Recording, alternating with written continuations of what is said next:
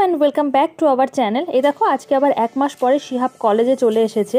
এক মাস কারণ আমাদের পুজোর ছুটি তো পুরোপুরি এক মাসই ছিল। তো এক মাস পরে যেদিন কলেজ খুলেছে, সেদিনই আমার ক্লাস তো থাকেই। সকালবেলাতেই আমার ক্লাস ছিল ফার্স্ট হাফে তো দেখো, তারপরে এই যে স্টুডেন্টদের ল্যাব রয়েছে, সেই টাইমে শিহাবকে দেখো, আমি ল্যাবের একটা সাইডে এখানটায় ওই সিঙ্গেল বেডের যেরকম সাইজ হয়, সেরকম একটা লোকেশন একটু ফাঁকা আছে। সেইখানটাতে একটা বেড কভার পেতে দিয়েছি, তার উপর একটা ছোট্ট কাঁথা পেতে দিয়েছি। কারণ শিহাব এখন হামাগুড়ি দেওয়ার চেষ্টা করে শুয়ে থাকলে গড়িয়ে যায়, তো ওর একটু বড় স্পেস লাগে বলে ওই জায়গাটাতে ওকে পার্মানেন্ট জায়গা করে দিয়েছি। আর এই দেখো স্টুডেন্টরা ল্যাবে ক্লাস করতে এসে শিহাবের সঙ্গে এসে খেলা করছে। শিহাব তো ওদেরকে দেখে দারুণ মজা করছে, কারণ শিহাব ওদেরকে হয়তো একটু একটু চিনতেও পেরেছে। তো আমি এখানে শিহাবের ভয়েসটা রাখিনি, তোমাদের সাথে এক্সট্রা ভয়েস দেবো বলে। ভয়েসটা থাকলে তোমরা বুঝতে পারতে, ওদেরকে পুরো বোক ছিল একদম আও আও এরকম করে। আর তোমরা তো জানোই যে প্রায় এক মাস আগেই শিহাবের মুখে ভাত হয়ে গেছে।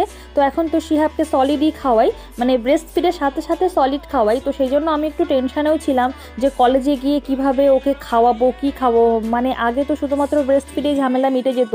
এখন ভয় লাগছে যেহেতু বাচ্চারা মানে একটু খাবার খেলে সেটাকে মেসি করে ফেলে। তো এখানে ক্লাস থাকছে স্টুডেন্টরা থাকছে, তাদের মধ্যে ওকে কীভাবে খাওয়াবো, না খাওয়াবো? যাই হোক, সে সমস্ত সমস্যার সমাধান হয়ে গেছে। খুব একটা অসুবিধা হয়নি, ও তো দারুণ মজাতেই ছিল। খুব একটা দুষ্টুমিও করেনি, সুন্দরভাবে খেয়ে নিয়েছে। দেখো কি সুন্দরভাবে খেলছে। তো যাই হোক, আমরা বেশ কয়েকটা দিন ধরে ভাবছিলাম যে আমি তো আমার ইউটিউবে টাকা ঢুকলে মোটামুটি সেটা দিয়ে আমার কিছু গয়নাগাটিই কিনি।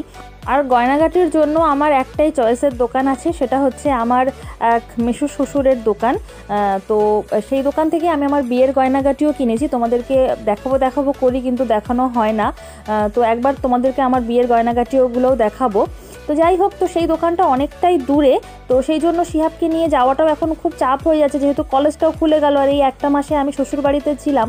তো সেই জন্য যাওয়ার টাইমটা হয়ে ওঠেনি। তো এবার ভাবলাম যে যেহেতু টাকাটা ঢুকেছে, চলো এই টাকাটা দিয়ে একটা অন্য ভালো কাজ করা যাক। আমাদের একটা ফ্রিজ ছিল না, যেহেতু আমরা রেন্টেড হাউসে থাকি, আর মানে ভাবছিলাম নিজের বাড়ি হলে সেখানেই নেব।